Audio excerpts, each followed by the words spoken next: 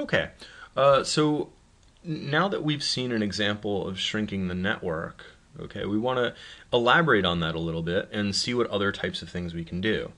Okay, now that we've seen uh, a little bit of, about the structure and we know that there is a missing link between Africa and Australia, there's no link in either direction. Okay, now we know to look for that in the node link diagram because of what we saw in the matrix.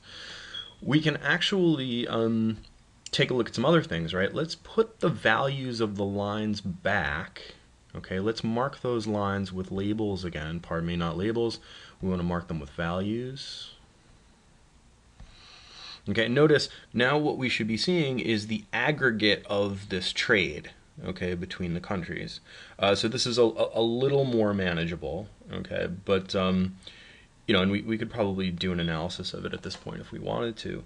But um, let's see what other types of things we can do when we start talking about shrinking networks. All right, so let's go back to the original. Okay, we're going to go back to this, and then of course we need the same corresponding set of continents here. We're going to shrink this again, but this time we're actually going to leave Africa in its full state. Okay, so what we'll see is we're going to shrink all of the countries from all of the continents except Africa. Okay, so we'll pick the same number, right? We'll say we, we don't care how small it is, one is good enough. And then it'll ask us which cluster should you not shrink, okay? And Africa is cluster number one. Okay, so that's the one that we'll pick. And we say okay. Okay, and notice now we have 14 nodes and 14 partitions. All right, let's take a look at those partition values before we draw it. Okay, notice that anything that's in value 1, meaning continent 1, is represented at the country level. Okay. Anything that's any any other countries are have all been aggregated into the continent level. Okay, and we can obviously change these labels back so that we can see them the way we want to. So this is South America. Okay, Australia we'll leave as is, but we'll remove the hash mark.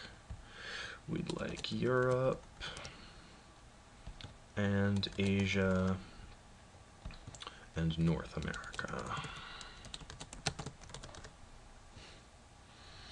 Okay, and now if we say redisplay, Right, so now what we should see, if we draw this network and its associated partition, okay, now we see that Europe and Asia and Australia and South America and North America are all aggregated, but we see each of the uh, African countries um, basically on a, you know as at the country level rather than at the continent level.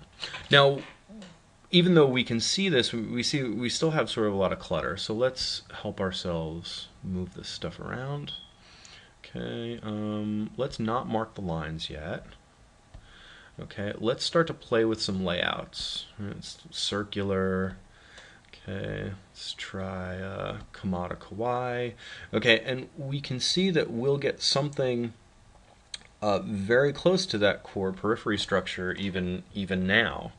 Okay. Um, one thing that you'll see is that Australia, in a way, is really just adding to some of the clutter, right? If we wanted to focus exclusively on African countries, and we know that Australia and Africa don't trade directly, um, then maybe we might want to think about extracting the network and extracting Australia out of it. Okay, so that's the next thing that I want you to be able to see that we can actually extract sub networks from this network, right? Just to, to make the clutter a little bit easier.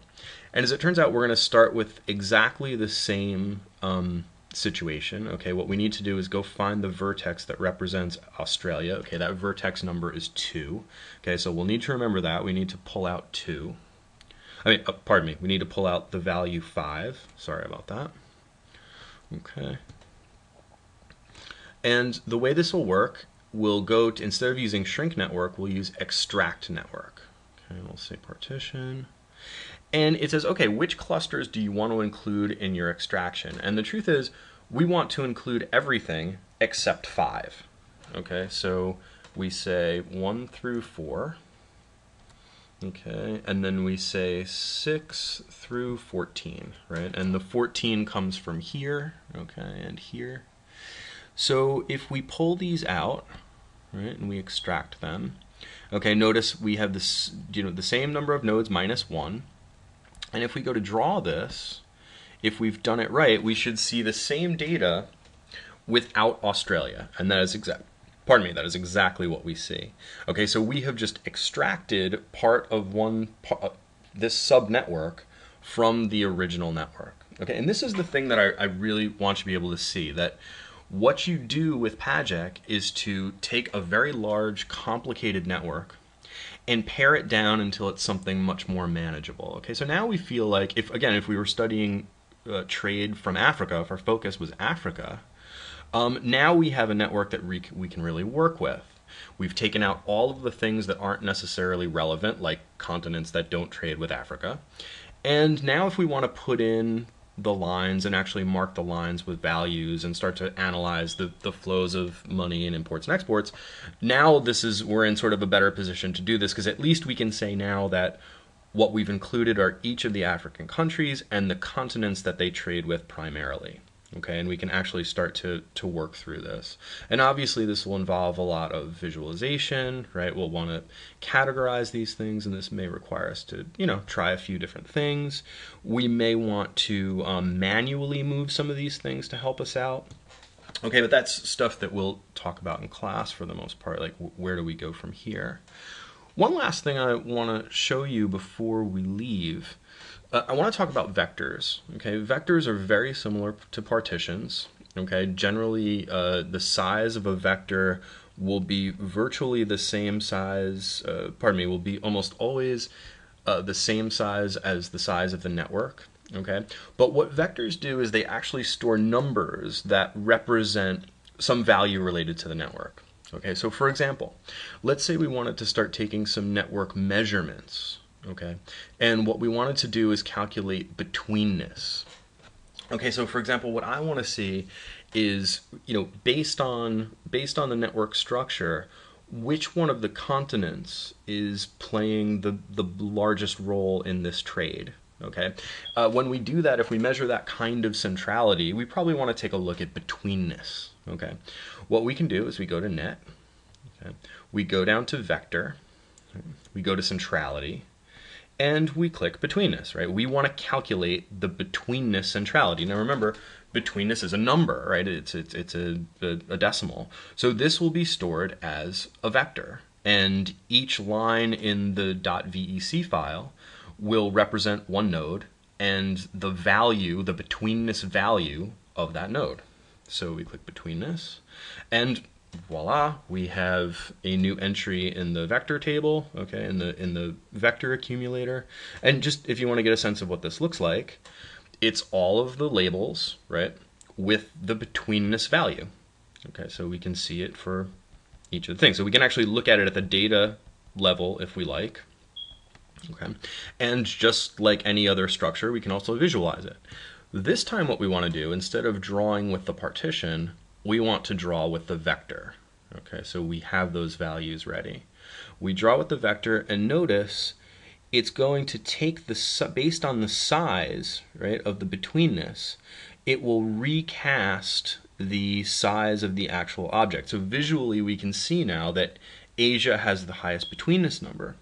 And if we want to verify that, we can just come here and say mark vertices using vector values and now Asia will have a rounded version of its betweenness, and so will Europe, and so will North America, and so on. So now we can actually see uh, which countries have higher, which countries and continents have higher betweenness than other countries and continents, and we can use this to um, move move our analysis a little bit further. So this has been the sort of introduction to uh. Uh, you've seen how we use networks, uh, partitions, and vectors to do some uh, small analysis. And uh, just keep practicing with the software and uh, develop those capabilities.